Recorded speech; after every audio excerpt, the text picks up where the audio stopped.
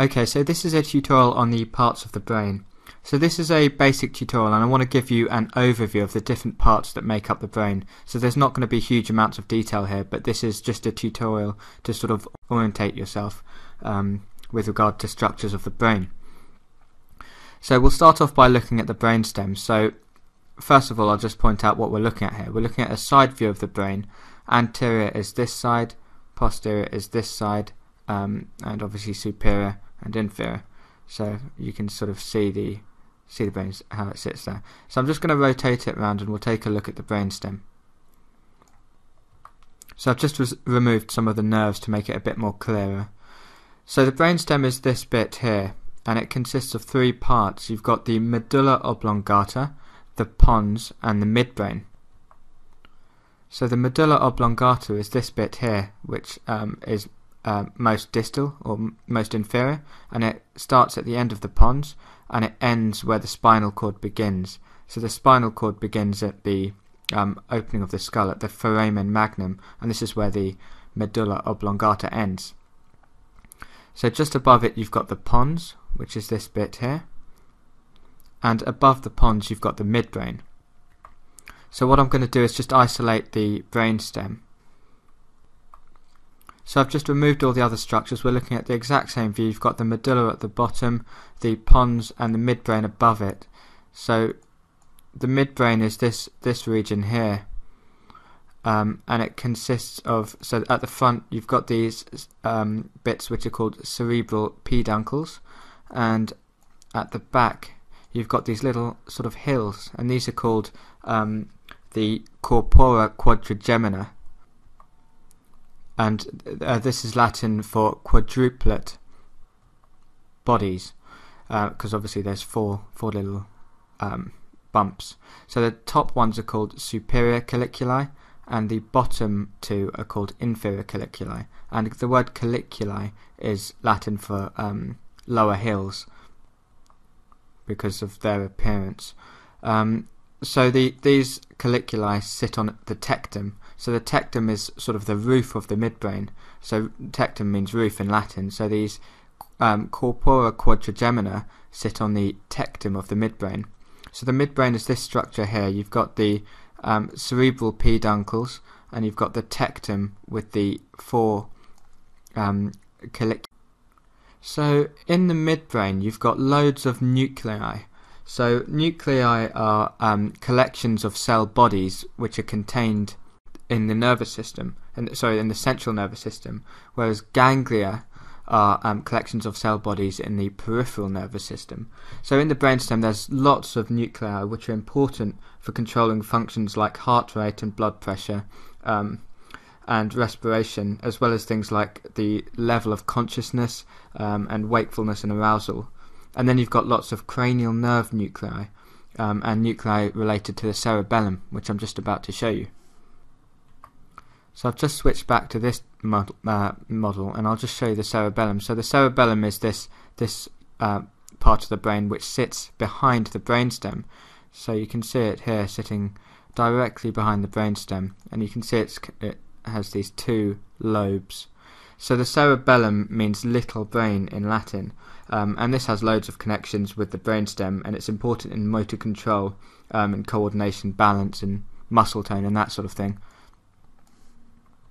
So if I remove the cerebellum, you can, and I'll just remove the hemispheres as well. So we can see the midbrain here. So you can identify them by these, um, the colliculi.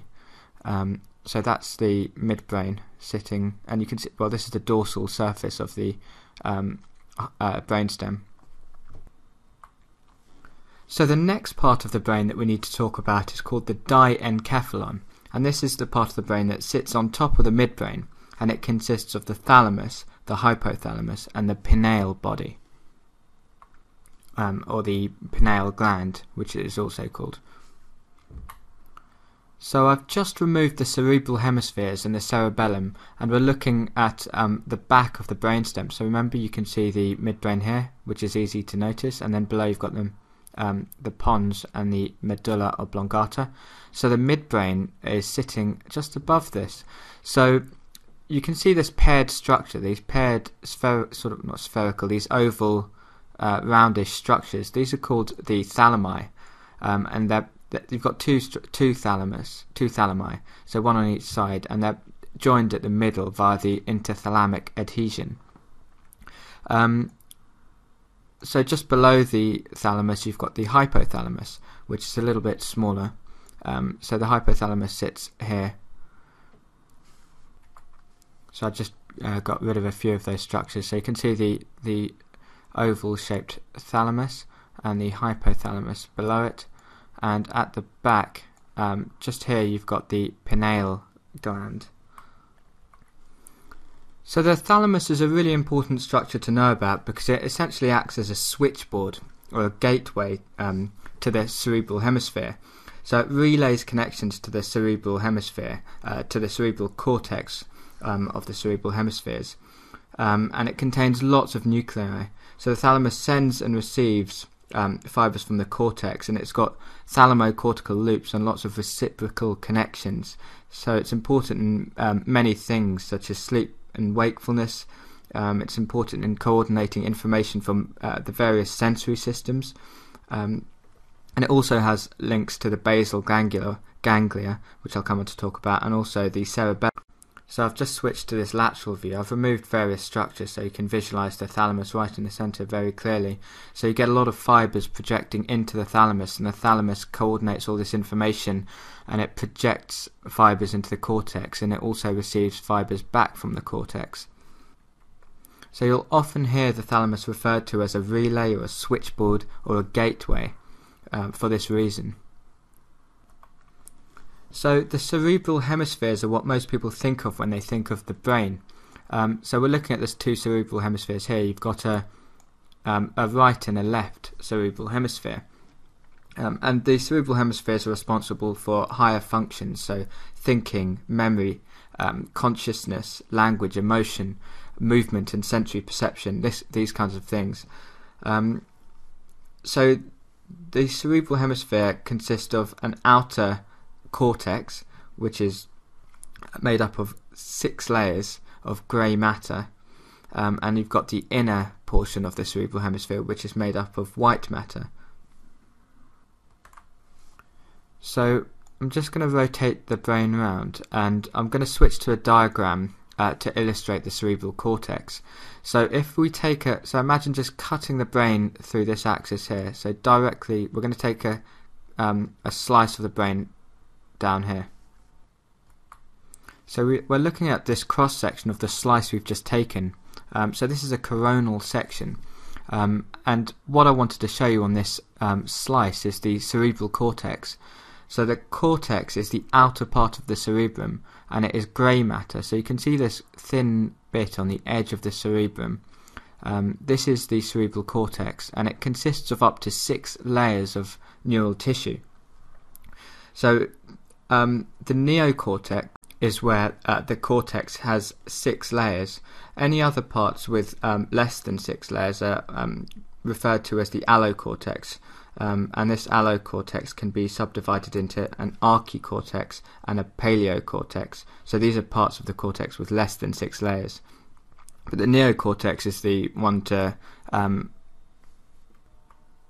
uh, remember because this is the is the newer sort of evolutionarily newer part of the cortex and is responsible for higher functions like language and conscious thought. So the neocortex has six layers So just looking at the outside of this cerebral hemisphere, you can see um, that there's these grooves and you've got um, ridges. So the ridges are called gyri and the grooves are called sulci.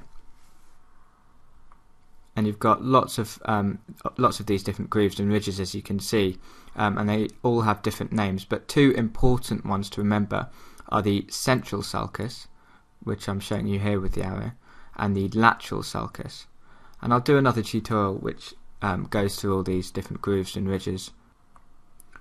But the reason I showed you these, um, the, the two sulci, the central sulcus and the lateral sulcus, is because these two sulci can be used to um, separate some functionally important uh, lobes of the brain. So you've got four lobes of the brain which are separated uh, by various grooves. So anterior to the central sulcus, which I'm drawing along here, you've got the frontal lobe because it sits um, behind the frontal bone of the skull. So this is the frontal lobe that I've outlined in red. Posterior to the central sulcus, you've got the parietal lobe, um, and this runs like this. So I'm outlining this in yellow. And this is called the parietal lobe because it lies under the parietal bone. And inferior to the uh, lateral sulcus, which I'm drawing on in green, we've got the temporal lobe. So I'm just outlining the temporal lobe here, and it runs like that. And right at the back, we've got this lobe here, called the occipital lobe, which I've just outlined in blue. So this is actually this is quite a rough um, illustration of the four lobes, um, but I wanted to show you that the how the central sulcus and the lateral sulcus are important in um, defining these different areas. So anterior to the central sulcus, you've got the frontal lobe. Posterior to it, you've got the parietal lobe, and then you've got the lateral sulcus, which inferior to the lateral sulcus, you've got the temporal lobe. So the frontal lobe is important in decision making, um, problem solving, and planning. The temporal lobe is important in memory, language, emotion, and hearing. Um, and the parietal lobe acts as a sort of inter- integrator of sensory information, so it receives and processes sensory information. And the occipital lobe, um, sitting at the back, is responsible for vision. So that's a very crude overview of their functions, but it gives you an idea that different lobes have different functions. إن أعجبك الفيديو لا تنسى الاشتراك بالقناة والإعجاب والتعليق على الفيديو وأيضا لا تنسى المشاركة جميع الحقوق محفوظة لقناة Arab Doctors Tube.